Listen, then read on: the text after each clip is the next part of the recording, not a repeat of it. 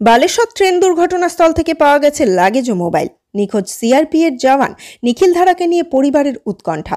CRP এর জওয়ান নিখিল ধারা চাকরিস্থলে পৌঁছানোর জন্য করমণ্ডল এক্সপ্রেসে উঠেছিলেন।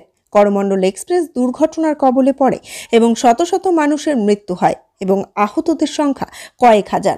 সঙ্গে আছে নিখোঁজের দীর্ঘ তালিকা। আর সেই নিখোঁজের তালিকাতেই আছেন সিআরপি এর জওয়ান নিখিল ধারার নাম। নিখিল ধারার বাড়ি বাঁকুড়া জেলার ইন্দাস ব্লকের কুশমুড়ি গ্রামে। বাবা পাগল ধারা গ্রামের এক বাসিন্দা বলেন যে, ইন্দাস পুলিশ প্রশাসনের কথা মতো বালেশ্বরে পৌঁছায় গ্রামের একটি প্রতিনিধি দল। কিন্তু সমস্ত হসপিটালে ঘুরেও নিখিল ধারার দর্শন পাওয়া যায়নি। নিখোঁজ নিখিল ধারার সন্ধানে গ্রামের প্রতিনিধি দল এবং প্রশাসনিক তরফ থেকে খোঁজ চলছে। উদ্বিগ্ন পরিবার পরিজন ও প্রতিবেশীদের চোখ মুখে আতঙ্ক এবং চাপা টেনশনের চোরাস্রোত বয়ে যাচ্ছে। যদিও বালেশ্বরে আছেন প্রতিবেশী ও আত্মীয় স্বজনের প্রতিনিধি দল এখনও মরিয়াভাবে চেষ্টা জারি আছে নিখোঁজ নিখিল দ্বারাকে খুঁজে বের করার। বাঁকুড়া ইন্দাস থেকে আব্দুল হাইয়ের রিপোর্ট। ওনার সঙ্গে নিখিল ধারা সম্পর্ক কেমন ছিল? সম্পর্ক আমার খুবই ঘনিষ্ঠ বন্ধুর মতো বন্ধুর সম্পর্ক। একসঙ্গে উঠা বসা এখানে এলে সমস্ত কিছু আমার সঙ্গে আমি আমার সঙ্গে ঘুরতে বেশিরভাগ। কোন জায়গায় পোস্টিং আমি ছত্তিশগড়। ফোনে কথা হতো? ফোনে কথা হতো মানে একত্রিশে মে আমার সঙ্গে কথা হয়েছে লাস্ট সেদিন আমাকে বলল যে আমি বিহারে এসেছি এখানে একটা পোস্টিং আছে। হ্যাঁ এখানে এসেছি আমি। তো আমি বললাম যে এখানে আসার জন্য বললে না এখন আসা যাবে না পরে আসব। এই পর্যন্ত আমার সঙ্গে শেষ কথা হয়েছে। যখন বাড়িতে আসে তখন দেখা করে? হ্যাঁ বাড়িতে এখানে এলে আমার সঙ্গে অবশ্যই দেখা করে।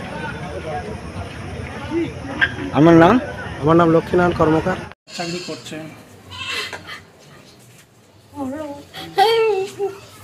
পনেরো ষোলো সতেরো বছর হয়ে গেল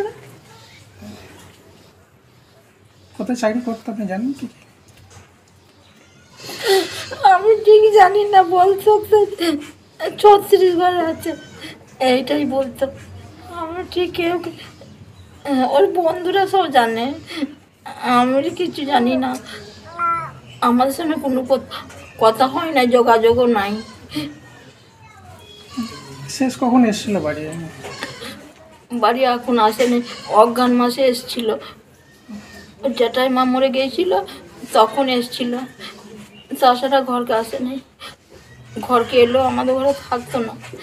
বন্ধুদের ঘরে থাকতো।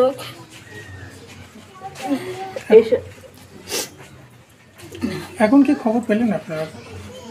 খবর কিছুই পাই নাই সকাল থেকে গাড়ি গেছে।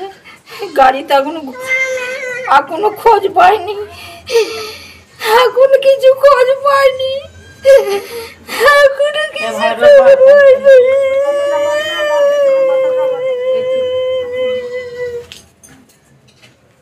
আমরা ছেলে কটা?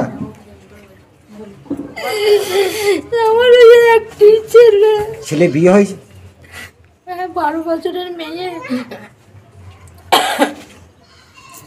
মেয়ে বারো বছরের মেয়ে। সকাল থেকে গাড়ি গেছে বলছে এখনও খোঁজ পাইনি। এখনও খুঁজছে। এখনও খোঁজ হচ্ছে? এখনও খোঁজ। এখনও খুঁজছে। কোথায় রইল? আমরা এখন কিছুই জানি না। কি নাম আপনার ছেলে? আমার ছেলের নাম নিখিল তারা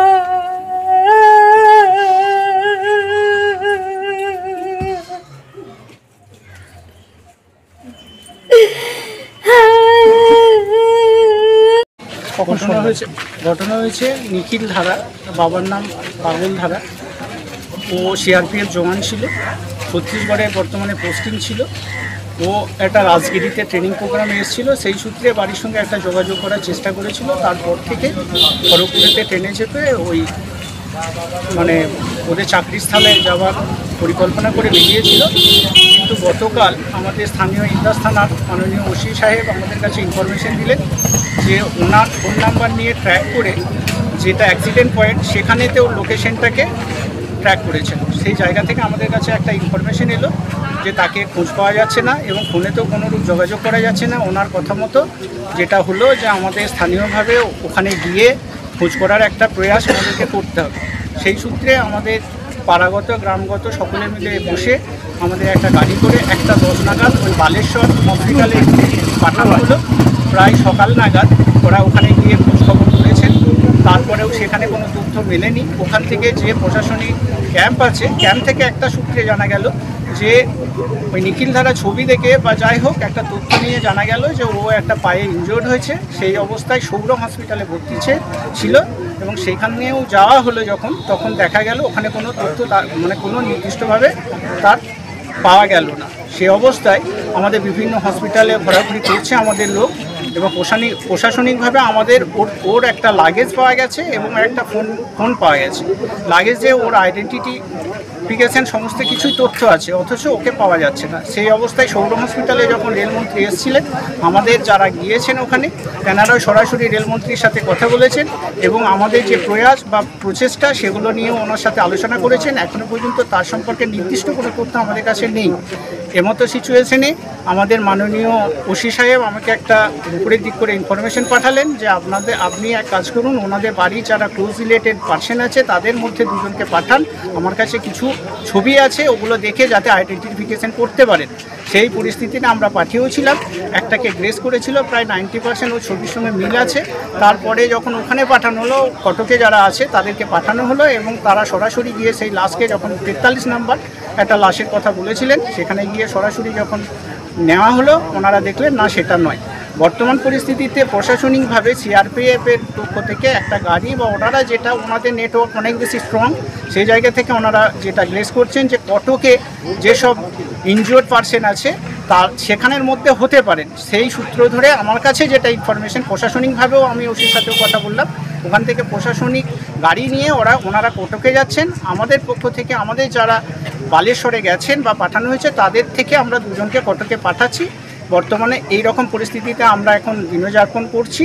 যত তাড়াতাড়ি সম্ভব আপনাদের প্রত্যেকের কাছে আমাদের অনুরোধ, আমাদের গ্রামের পক্ষ থেকে, আমাদের ব্যক্তিগত পক্ষ থেকে, যে যত তাড়াতাড়ি তার একটা সুনির্দিষ্ট আমরা খোঁজ পাবো বা তার সন্ধান মিলব, সেই জায়গা থেকে প্রত্যেকের কাছে আমরা অনুরোধ করছি, আপনারা তাড়াতাড়ি সেই তথ্যটা আমাদেরকে দেন প্রশাসনিক হোক অন্য দিক থেকে যে যেমনভাবে হোক দিলে আমরা একটা নিশ্চিন্ত হই বা এরকম সিচুয়েশনে আমরা ওদের আত্মীয়রা খুব উদ্বিগ্ন অবস্থায় আছে, কী পরিস্থিতি এখনও পর্যন্ত আমাদের কাছে কোনো নির্দিষ্ট খবর নেই। ধূপগুড়িবাসীদের জন্য আনন্দ সংবাদ, সুসংবাদ। ডেডিকেটেড টু এক্সিলেন্স উৎকর্ষতার প্রতি দায়বদ্ধতার অঙ্গীকার নিয়ে আপনার প্রাণের শহর ধূপগুড়িতে শুরু হতে চলেছে সেন্ট পলস স্কুলের পথ চলা। দুই এবং তিন বছরের শিশুদের জন্য নার্সারি, তিন এবং চার বছরের শিশুদের জন্য এলকেজি, চার এবং পাঁচ বছরের শিশুদের জন্য ইউকেজি ক্লাসে ভর্তি নেওয়া শুরু হয়েছে সেন্ট পলস স্কুল ধূপগুড়িতে। এখানে শিশু মনের উপযুক্ত পদ্ধতিতে আপনার আদরের সন্তানকে অতি যত্নের সাথে সম্পূর্ণ মানসিক চাপমুক্ত শিক্ষাদানের ব্যবস্থা রয়েছে।